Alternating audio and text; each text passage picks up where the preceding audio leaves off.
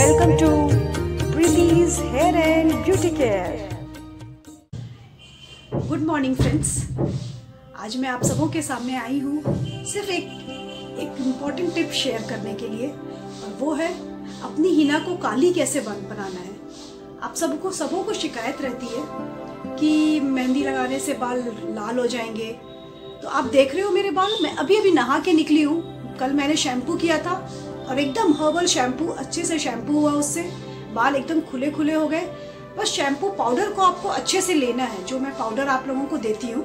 उस पाउडर को आप अच्छे से लो और अच्छे से अप्लाई करो और वॉश करो। और उसके बाद नेक्स्ट डे हिना। तो नेक्स्ट डे हिना, आप देखो, अभी मेरे 50 परसेंट जो हेयर्स है, वो वाइट हो चुके हैं। लेकिन आप लोगों को दिख रहा है? देखो, मैं एकदम क्लोज से दिखा रही हूँ आप लोगों को। देखो, मैं अभी अभी नहा के निकली हूँ और मैंने अपनी हिना कैसे बनाई? एक तो हिना मेरी हर्बल थी, जिसमें सिर्फ़ आधे मेहंदी थे और आधे हर्ब्स थे, ठीक है?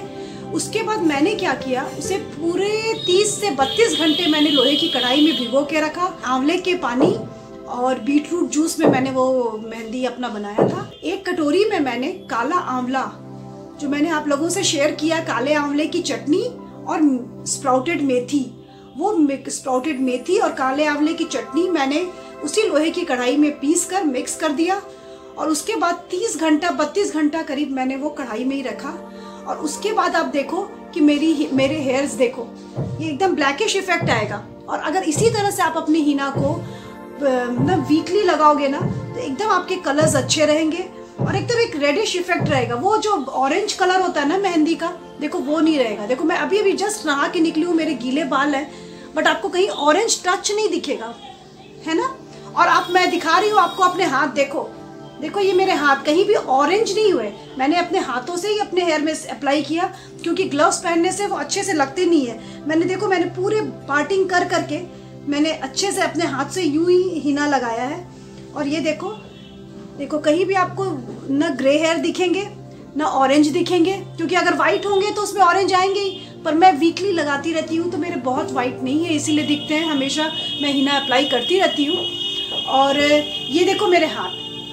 इसीलिए मैं आज भी ये वीडियो बना रही हूँ आप लोगों को ये दिखाने के लिए कि देखो, हाथ जो है, वो ऑरेंज नहीं हुए, ये ब्लैक हो गए, क्योंकि मैंने वो हिना डेढ़ दिन तक करीब वो लोहे की कढ़ाई में रखा और उसमें आंवले की, का पेस्ट भी मैंने डाला था, ठीक है? तो ये, और आप इसकी चिंता मत करना कि हाथ काले हो जा रहे हैं। आप इसको अगर आप नींबू से हाथ को रगड़ लोगे और एक दिन में ही आपके हाथ ये पानी से धुल के, वापस नॉर्मल हो जाएँगे। तो आप नींबू और चीनी लेकर हाथ रगड़ लोगे तो आपके हाथ सब साफ़ हो जाएँगे। लेकिन ये इसी तरह से आप अपनी हिना बनाओगे तो आपको एक ब्लैकिश टच मिलेगा, वो ऑरेंज वाला टच नहीं रहेगा। तो होप आपको सब कुछ क्लियर होगा कि आपको किस तरह से अपनी हिना बनानी है। तो इसी तरह से आप अपनी हिना बनाना और अच्छे से अप्लाई करना और डाई के चक्कर से बच जाओगे आप और आपके हेयर फॉल का प्रॉब्लम भी ठीक हो जाएगा। ठीक है? मैं फिर आप लोगों के बीच आऊँगी। इस वीडियो को आप ज़्यादा से ज़्यादा प्लीज़ शेयर करें लाइक करें और मेरे चैनल को सब्सक्राइब करें। Okay bye